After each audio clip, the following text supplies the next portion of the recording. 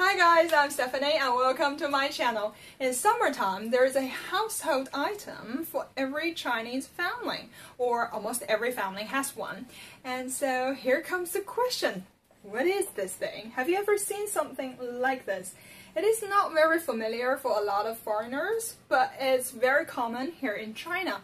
We call them liangxi. Now, liang means cool and xi means mat. So liangxi is literally just like a cool mat designed for the summertime. So this is liangxi. If you've never heard of it, you should totally try it.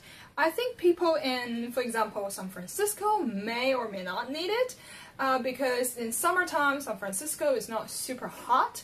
So sometimes you don't really need the AC.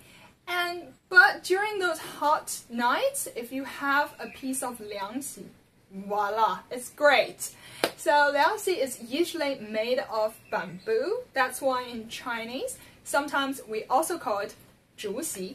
I know what you're gonna ask. Well, we have the AC, so we don't have liangxi around.